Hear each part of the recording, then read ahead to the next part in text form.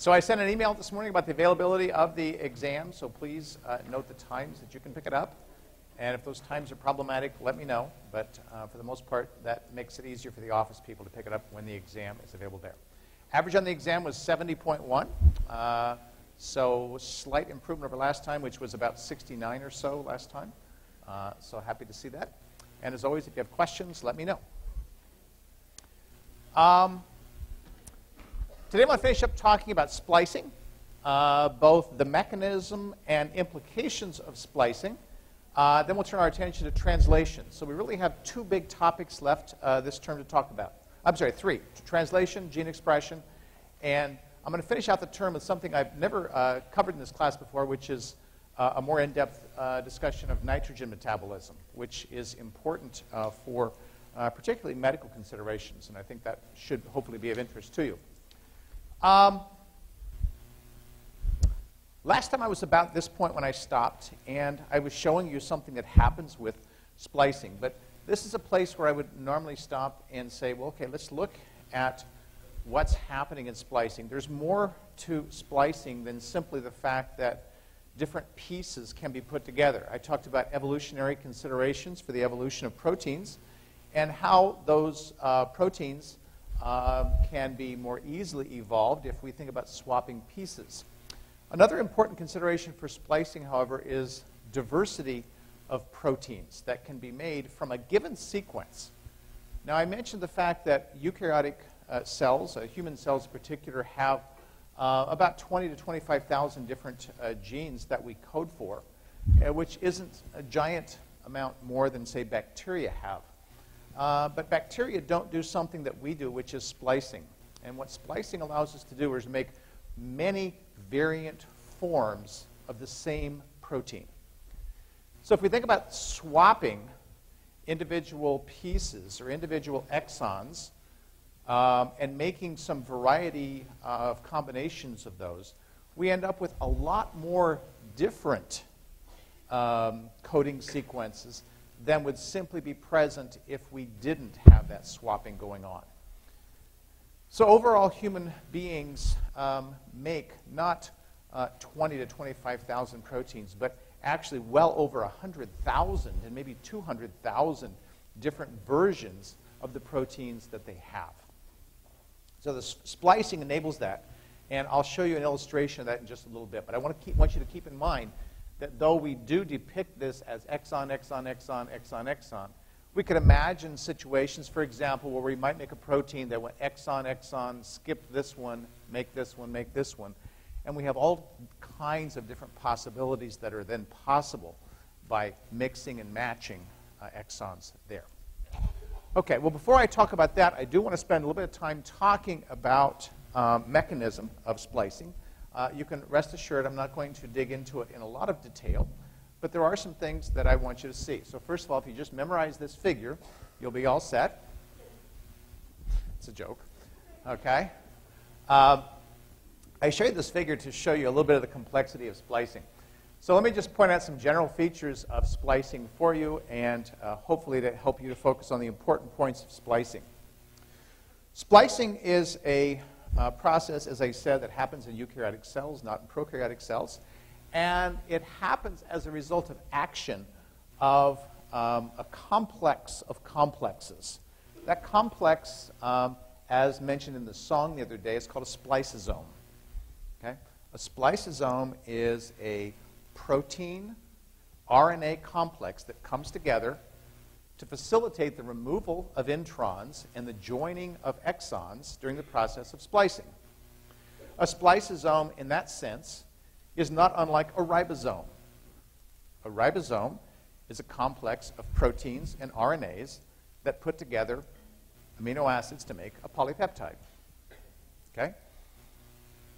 In the case of a spliceosome, the complexes have some uh, a little bit of nomenclature that you should be aware of. Okay? So first of all, they are um, um, um, the RNAs that are involved in this process are called uh, snRNAs, small nuclear RNAs. That's what they were called when they were first discovered. And those snRNAs are combined with proteins to make something called snRNPs, small nucleoproteins. proteins, right? Those SNRNPs are what are coming together on this figure, okay, to enable the splicing process to occur. So if I look, for example, the two most important ones that we're going to focus on here are called U1 and U2. The SNRNPs are named for the SNRNAs that they contain. So a U1 SNRNP contains a U1 SNRNA plus some proteins. The RNA turns out to be a critical component because in several cases we see that pieces of the snRNA are complementary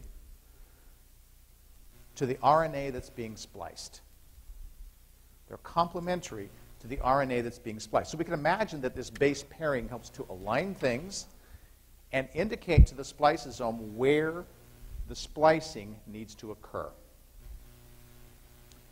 Now, a couple things about the splicing. First of all, in eukaryotic cells, all three types, three main types of RNA are all spliced. Messenger RNA is spliced, ribosomal RNA is spliced, transfer RNAs get spliced. Okay? All three of those get spliced. When we compare the sequences that appear to be involved in splicing, we don't discover an awful lot of conserved sequence. Okay? Meaning that there's a fair amount of variability in where those splice junctions actually occur. There are a few things that are known. I'm going to point them out to you. Remember that an intron is the part that gets removed, and it's in the intron that we discover the conserved sequences. There are three that we'll focus on here. At the 5' end of the intron that's removed, there's an almost invariant sequence, a GU. The 5' end of an intron will almost always have a GU. The 3' prime end of the intron will almost always have an AG. Okay? Now, those are not very long sequences, folks. You see GUs occurring in a lot of places. You see AGs occurring in a lot of places that are not splice junctions. Okay? So we can imagine that the ability of the spliceosome to align the proper ones is a very critical thing. And we can also imagine that the precision of the removal of that intron is also a critical thing.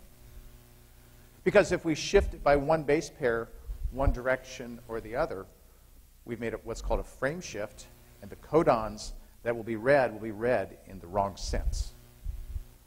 So that precision is very important. There's a third region of the uh, intron that is conserved, and it occurs about 20 to 30 nucleotides away from the 3' end of the intron. This sequence is a, uh, a, a region of the messenger RNA that is rich in pyrimidines. Rich in pyrimidines. Okay? Pyrimidines being C's and U's. Okay? Those three regions of the intron are the conserved regions of the splicing uh, um, component of the cell. Well, when we look at this, there's a lot of information here. We're not going to draw these structures, for example. But there are a couple things that are critical, particularly for our basic understanding. First of all, U1 and U2 these SNRNPs are critical. They are the first two things that bind to the intron to start the splicing process. And it appears that they bind and they interact with each other, as you can see here. I'll show you a simpler figure in a minute. Okay? They bind and interact with each other. The U1 binds at the 5' end of the intron, the GU. Okay? The U2 binds at the 3' prime end, uh, uh, near the 3' prime end, it binds actually that, eight, that, that pyrimidine-rich region. So the U1 binds at the 5' prime end of the intron, the U2 binds in the pyrimidine-rich region near the 3' prime end, 20 or 30 base pairs away. Within that pyrimidine-rich region, there's an A, an adenine nucleotide, that is important for the splicing process. And you can see that A listed right there. Okay? After U1 and U2 have bound, okay, the actual splicing reaction occurs after the other U, uh, uh, U SNRNPs bind. Okay? U1 and R2 are important or essential for the reaction to occur, but the splicing also requires binding of the other U SNRNPs. They include U4, U5, and U6. U4, U5, and U6 bind as sort of a complex at the same time. They don't bind individually. Okay? Now, this is the machinery that comes together to enable the splicing. I haven't shown you the reaction yet. I'm going to show you the reaction in just a second. But to recap here, U1 and U2 bind the conserved regions, the GU at the 5' end, the, poly, the uh, um, um, uh, poly, the, the pyrimidine rich, I can't say it, the pyrimidine rich region near the 3' end. Okay? They interact and facilitate the joining that will occur in the splicing process. Then U4, U5, and U6 join. Okay, well, let's look at the process in general. This shows, all right, an exon and exon. In the process of splicing, exon 1 becomes joined to exon 2. The intron gets removed. And in the process of removing the intron, the 5' end of the intron is joined to that A in the pyrimidine-rich region. It forms what we call a lariat structure. Now, the bond between that A and the 5' end is another very unusual type bond. It's the only place we see it occurring in biology. It's a 2' to 5' joining. So we've seen a couple of unusual bonds. In the cap, we saw a 5' to 5' joining. In the joining of the GU to the adenine, we see a 5' to 2' joining. And that creates this intron structure that we can see here. After that intron structure has, uh, has formed, or actually as a part of the process of the forming of that intron structure, exon 1 becomes covalently joined to exon 2. And of course, for, if there are other introns, then they will also sequentially be uh, removed, as you can see here. Let's look to see what happens in that process. Now, this is a cleaner view of everything that's there. We don't see the, all the U, the U1, U2, U4, U5, U6. They've all been removed so we can just see what's happening with the sequences here. If we look at the sequences, there's the GU conserved at the 5' end of the intron. And in the process of splicing, the GU becomes covalently linked through a 5' to 2, 2' bond to make this structure. And in the process of this happening, the 3' end of the exon is joined to the 5' prime end of the next exon as the, the lariat structure is split out. Okay? The result is this guy right over here, the lariat structure, and the spliced exons that are here. Now, U1 and U2 play critical roles in that process because they help put together the A with the GU. They help put that together so that this reaction can occur. A very critical part of the overall splicing process. Okay. This shows a little bit more detail uh, about the overall process. And now you see, of course, the involvement of the U4, U5, and uh, U6s in the process. And we're not really going to go in, into any more detail in terms of uh, mechanism by which this occurs.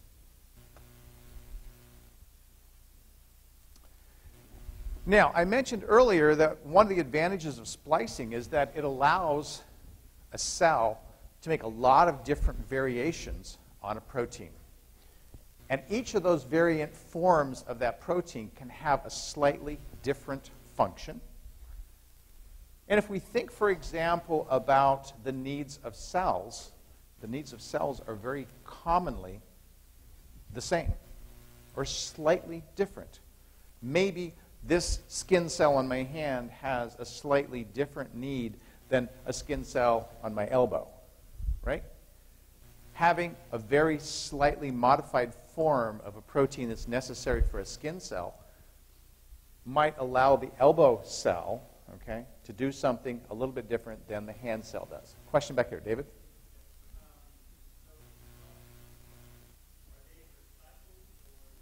Okay, good question. So what happens to splice introns? Spliced introns.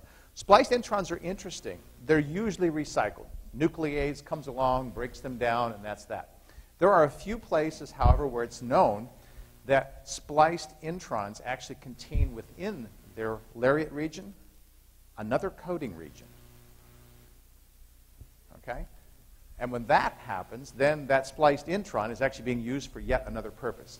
But in general, they're recycled, to answer your question. Okay? That's a thumbs up. You approve of that? What's that?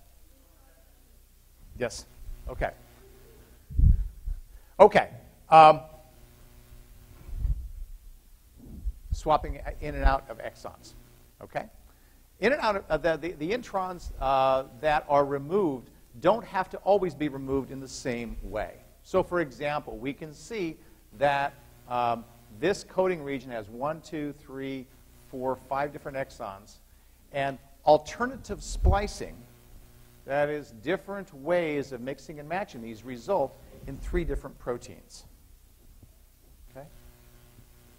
Those three different proteins have the same basic things, but each one of them has something different because it lacks or contains an exon that the other one doesn't have. And as a consequence, we can imagine it has slightly different functions. So having that ability to mix and match exons allows a cell to make a lot of different forms of the same protein.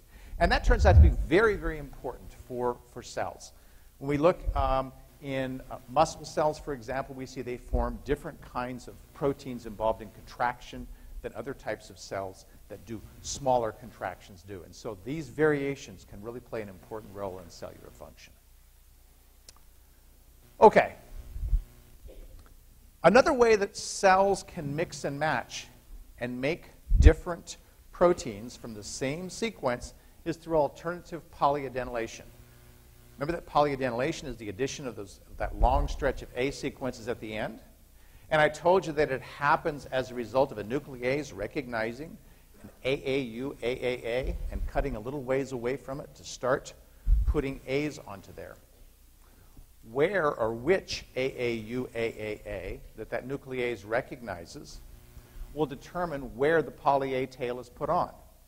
So we can imagine, for example, that when we go to uh, put these guys uh, together, as we can see here, that in this case we've got a poly A, A that has been put in the middle of this exon right here. The protein that will be made from this when the intron is removed will be different than this protein. And as a consequence, will give yet other variations on, on structure that, that can exist. So alternative polyadenylation is another way for cells to mix and match sequences and create new forms of proteins from the same coding sequence. Okay. Um, yet another way that cells can mix and match. And this one's kind of bizarre. This one's called RNA editing. And RNA editing was first discovered and uh, characterized in very simple um, organisms called trypanosomes. And trypanosomes uh, do the process that you can see on the screen here. With trypanosomes, they actually make a messenger. Here's the DNA. They make a messenger RNA. And then there's a guide RNA that's complementary uh, to that region right there. Okay? Um, and that, that guide RNA, okay, actually, I take it back. It's not complementary. It actually is, is aligned with it. It's not a complementary sequence. But the important thing is that the guide RNA contains the correct sequence that the messenger RNA itself didn't have. So the guide RNA provides a um, another level of um, correctness. The guide RNA has the correct sequence. The messenger RNA does not have the correct sequence. So the cellular machinery lines up the guide RNA with the messenger RNA and says, oh, we've got a problem here. This should be an AA, and we've got a UU, for example. The cell will remove the UU and replace it with AA. It seems, and it is, in fact, extremely inefficient. Okay? But as a result of that, what was something that wouldn't code for a functional protein is made into a functional protein. Leah? The guide RNA is, um, actually, it does look complementary to it, doesn't it? I was thinking it wasn't, but the important thing about the guide RNA is that it is providing the right sequence that's necessary for the messenger RNA. Okay? Having that correct sequence is critical because if those, that messenger RNA is left unedited, it's not altered, then what will happen in the process is you will not be able to make a functional protein. It's a bizarre system. Now, this is not unique to trypanosomes, okay? Our cells also modify their messenger RNAs. Not quite by this mechanism, but I'll give you a good example. We've talked about the um, LDLs and chylomicrons. These are lipoprotein complexes that are involved in movement of lipids in our body. Okay? If we look at those guys, we discover that there's almost the same protein that's found in the LDLs as is found in the chylomicrons. But it's slightly different in one compared to the other. In one, it's truncated, meaning it's shorter than it is in the other one. Everything else is the same. Well, do you have two different genes that code for that? It turns out that what our cells do is in our lymph system, where the chylomicrons are made, they have the ability to edit a single nucleotide in that messenger RNA. And the editing of that single nucleotide, meaning it's changing, let's say, a U to an A, the editing of that single nucleotide causes a stop codon to be present where it was not present before. I said it backwards, actually, it's the other way around. To remove a stop codon that was there. So a stop codon is converted to a non-stop codon, and so what happens is read-through of the sequence occurs in one tissue but not in the other. And that happens by modification of a single base in that messenger RNA. L- liver cells, which make LDLs, okay, make a, uh, a full version of that. The chylomicrons, which have the stop codon, make a smaller version of the same thing. Okay? It happens simply because the messenger RNA gets edited by that enzyme that's found in the one cell but not in the other. Okay. Well, I have a verse for you. It's not mine. Indira wrote this verse, uh, if you know my wife, Indira. Uh, and I think it's a cute verse about a perfect transcript. So let me just read it to you. Pol II so smart, now let me see. It makes a transcript 1, 2, 3. From a billion base pairs can it find one promoter? It, the one promoter it must find. I need some help, I hear it plead. This DNA I cannot read. I cannot see where I must start till TF2s have done their part. When TATA is bound by T, when TATA is bound by TBP, that sends a signal out, you see. Once DNA has made a bend, more TF2s will soon attend. When B arrives, it clears a place for RNA polymerase. And F and E soon join the fun, TF2H, the final one. The last one is a special case. It moonlights as a helicase and sends Pol II upon its way to make a brand new RNA. How does it do that, you may ask? A phosphate does the crucial task. Added on to CTD, that's how the H sets Pol II free. And Pol II goes its merry way, there soon will be some RNA then introns must all be excised as RNA is capped and spliced. Then poly A polymerase will add a couple hundred A's. For my own transcript, I can say that all I want is one more A. I like that. Okay. Um, the last thing I'll talk about here are transfer RNAs. Okay? Transfer RNAs are the most chemically modified of the RNAs that are there, that we have. Okay? It's not completely understood why there are as many modifications that happen to transfer RNAs, but suffice it to say that they do happen.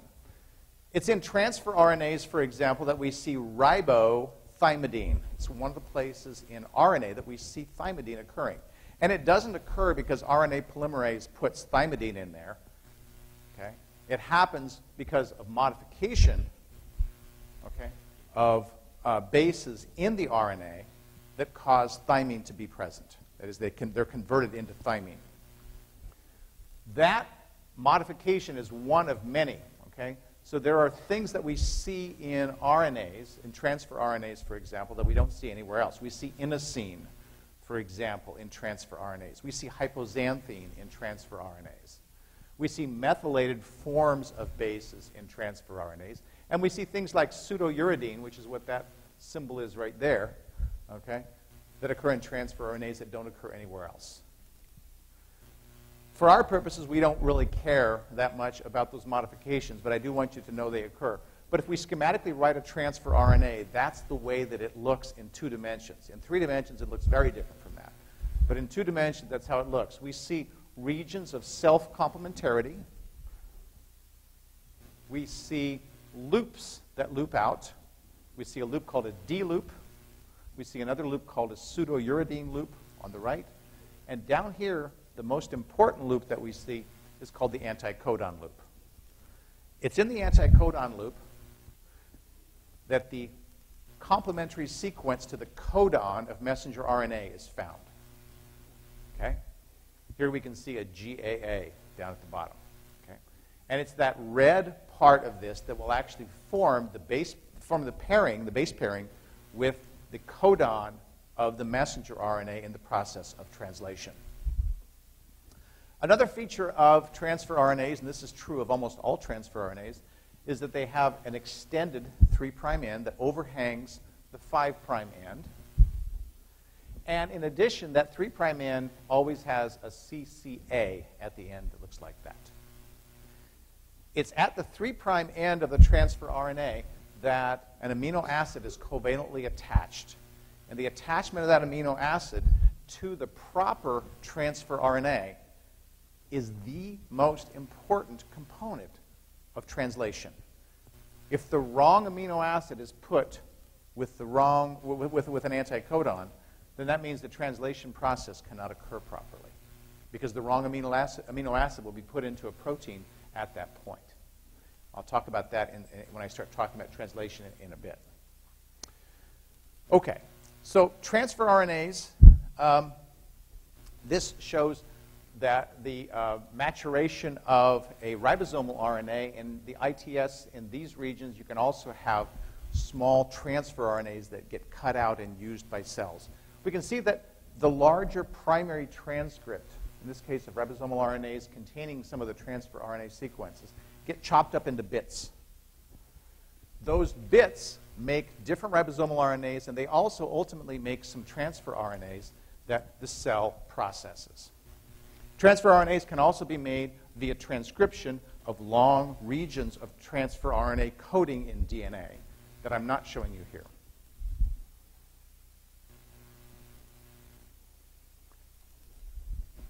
That's just for your information there. You don't need to know anything on this. But um, pseudouridine was a, as an unusual base you see in transfer RNA. It happens as a result of a chemical modification. This is an unusual chemical modification.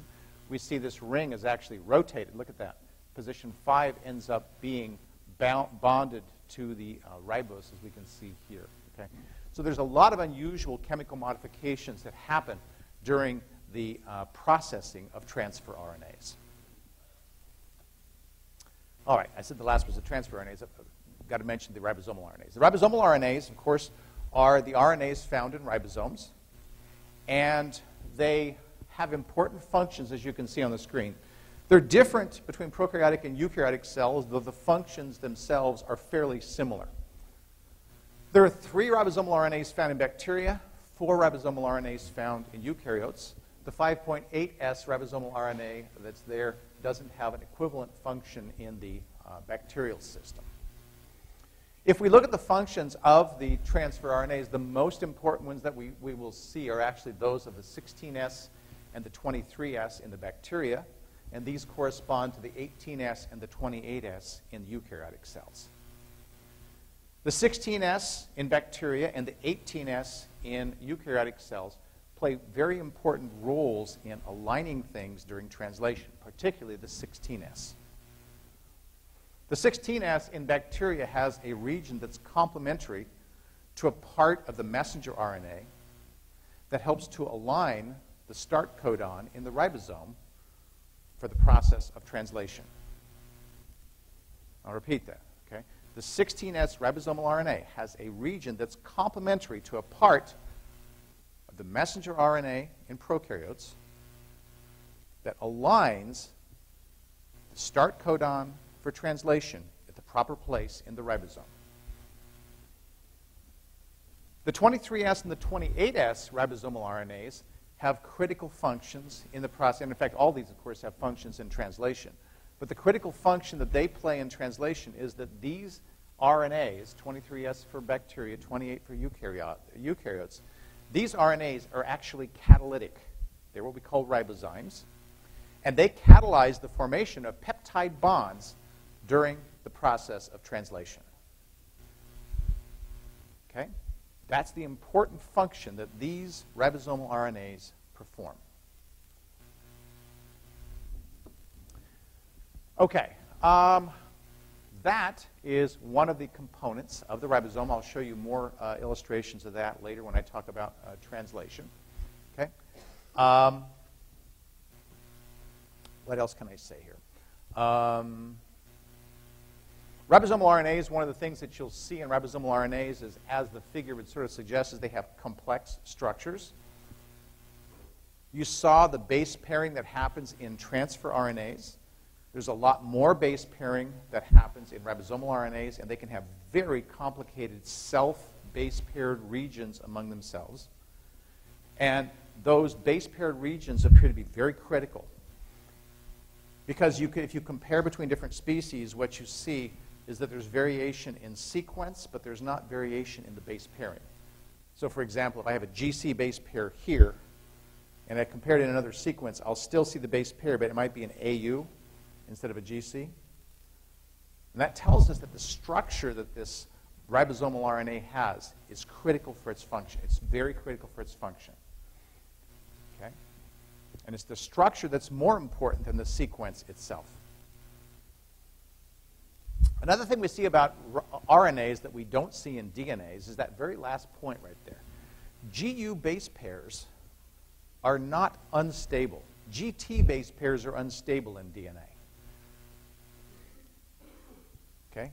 That methyl, extra methyl group that's on a uh, thymine, all right, interferes with base pairing in DNA. It does not interfere, since it's not there, it doesn't. There's no interference with a GU. So GU base pairs are stable in RNA.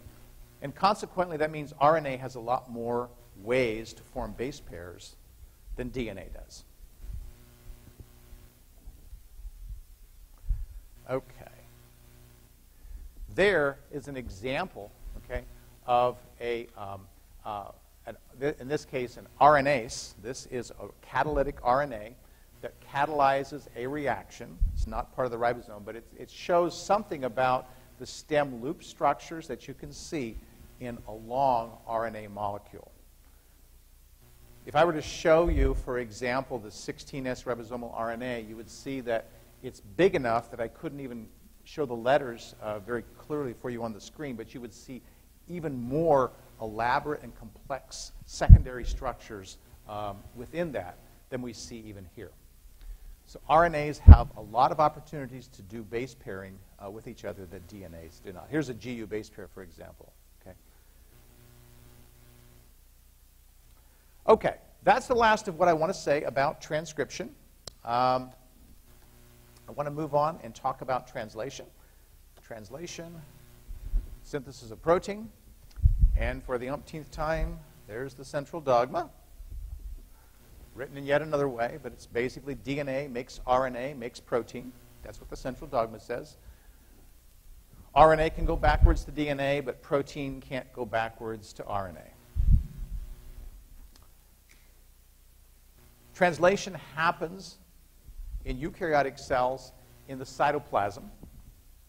In prokaryotic cells, everything happens in the cytoplasm because there's not a nucleus. But translation in eukaryotic cells occurs in the cytoplasm, and that means that the messenger RNA has got to get from the nucleus out to the cytoplasm. And so all of those processing things that I talked about with respect to messenger RNAs, all of those have to happen in the nucleus the capping, the polyadenylation, the splicing, the editing, all of those things happen in the nucleus before the messenger RNA exits to the cytoplasm. Messenger RNA gets out into the cytoplasm, the ribosomes start the process of translation. Now, in prokaryotic cells, since everything is happening in the cytoplasm, translation can actually start before transcription has completed because they're occurring at the same place in the same time. Once RNA polymerase has started making a messenger RNA and the start codon is there, the ribosome can bind to it and start the process of translation. So these two can actually occur at the same time in a prokaryotic cell. Because remember, again, prokaryotic cells are working at a pretty rapid rate, especially if they're having to divide every 20 minutes.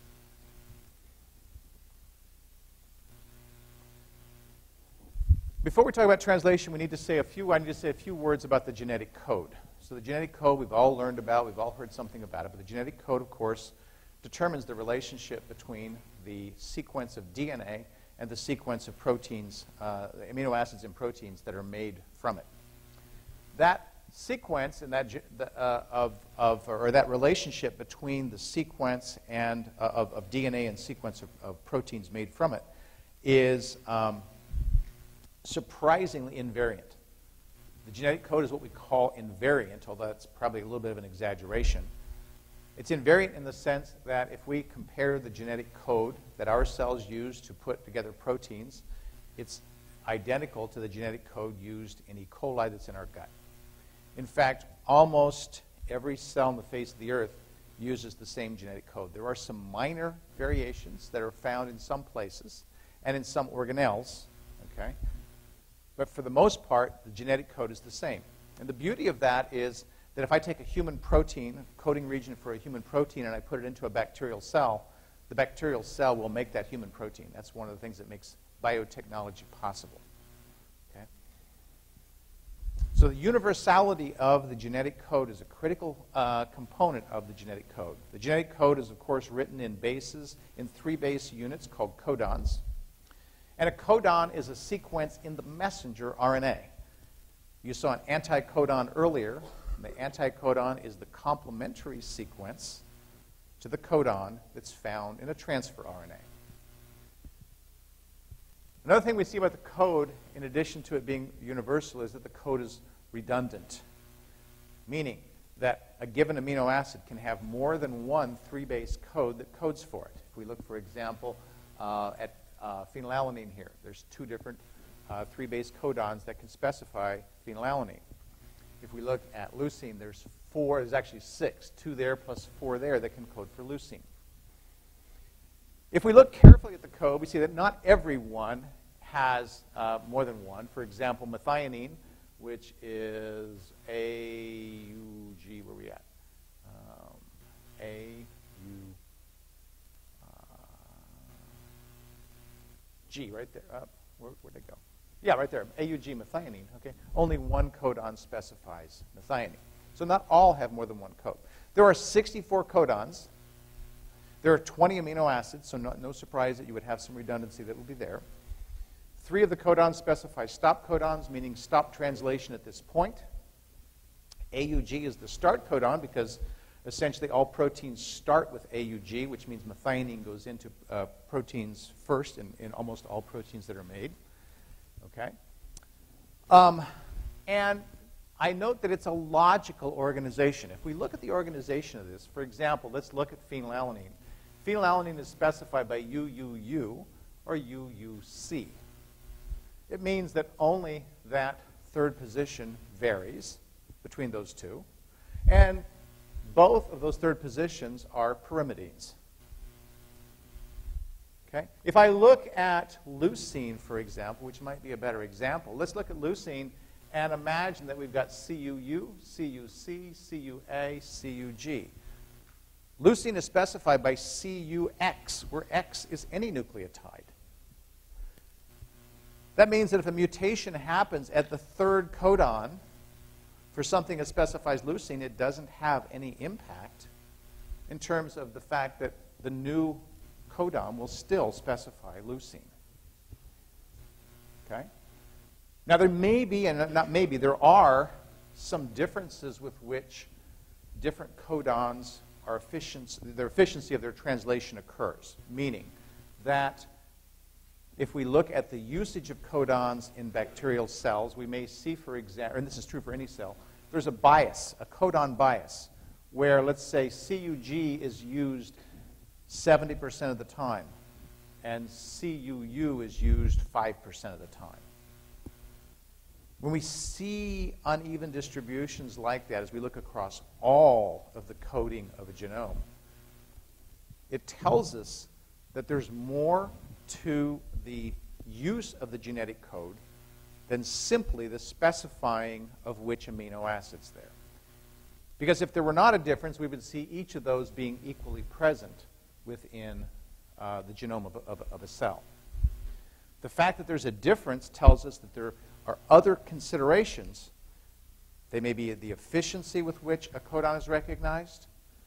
They may reflect differences in the sequence of the DNA that's present re relating to, uh, I'll give you a good example. I used to work with an organism called Dictyostelium. Dictyostelium is also known as slime molds. They're really cool organisms. Their genome is 90% A and T. 90% A and T. Really unusual organization of the genome. You might expect then, of course, that they would have some bias towards using A's and U's in the third position, and they do. Okay? So that's uh, an example where the actual genome itself influences the use of codons within the coding regions of proteins. So there's a variety of things that may contribute to that. Codon bias is something we're still actively uh, trying to understand so that we know better how codon usage helps cells to make prote uh, proteins. But anyway, at a, at a surface level, the important thing here isn't that there are differences. The important thing is that, in fact, the redundancy of the code okay, is real and that there is a logical organization. If we look at any of the individual ones that have two codons specifying them, here's aspartic acid. Aspartic acid is made by GAU and uh, GAC, pyrimidine in the third position. Here's glutamic acid, GAA, GAG, purines in the third position. Okay? So there is a logic that occurs uh, with this. Um, what else did I want to say about that? Let's see. Um, I guess that's it. Okay. There are, uh, the, the, code is punctuated, as I said. The punctuation corresponds to start codons, AUG, starting coding region, and three stop codons, UAA, UAG, and UGA, that are all used to uh, complete a sequence, uh, to, to, complete a coding, to complete the process of translation. We'll see that stop codons tell the ribosome this is the place to stop translating this messenger RNA. Questions?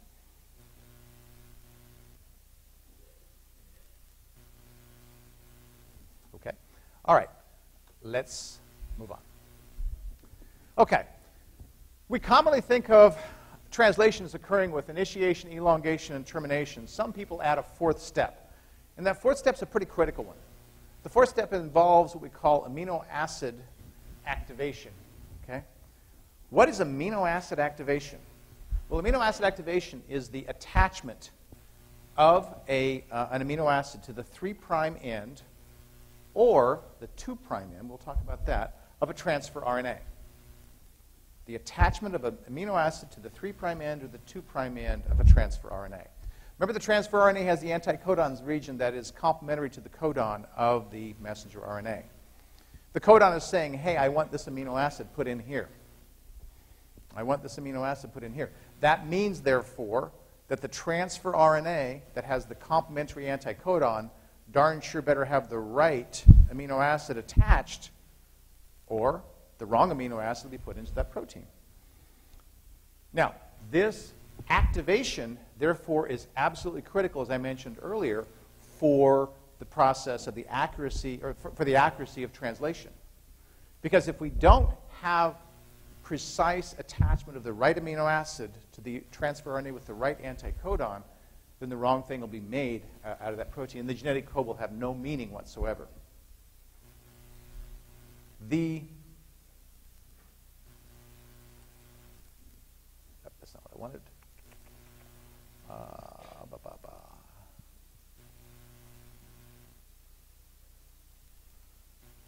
Okay, let me, well, let me say a little bit about that. So I thought I had a, a slide there for you. But how is it that cells get the right amino acid on the right transfer RNA? Okay? There's, there are enzymes called amino acyl tRNA synthetases. Mouthful of a name. Aminoacyl is one word, A M I N O A C Y L.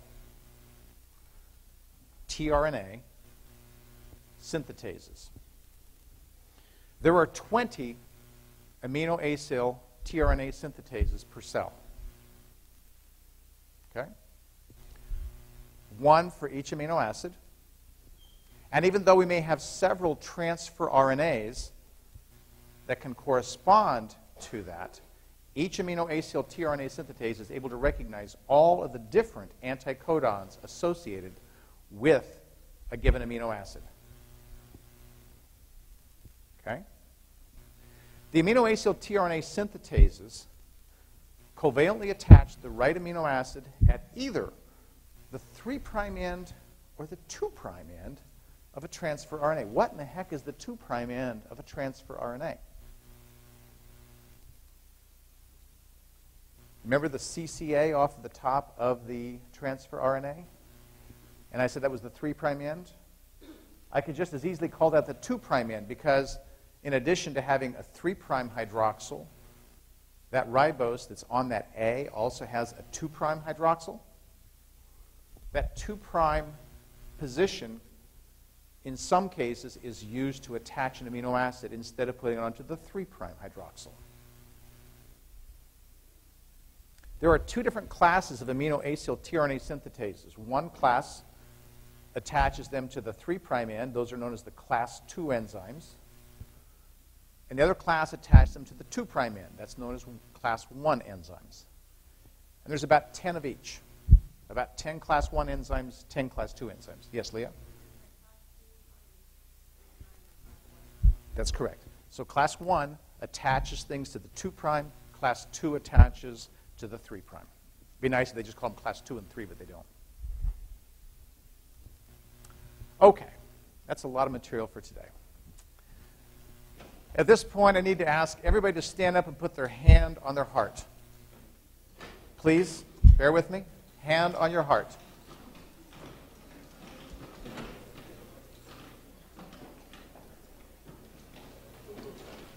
This is a moment You've heard of national unity. This is a moment of biochemistry unity. Okay? We are going to sing an important national anthem. Beautiful with RNA to make the peptide bonds. You hold tRNA so it can pair up with codons. The ribosome, the ribosome, translate mRNA. Initiate and translocate from start to UGA. All right.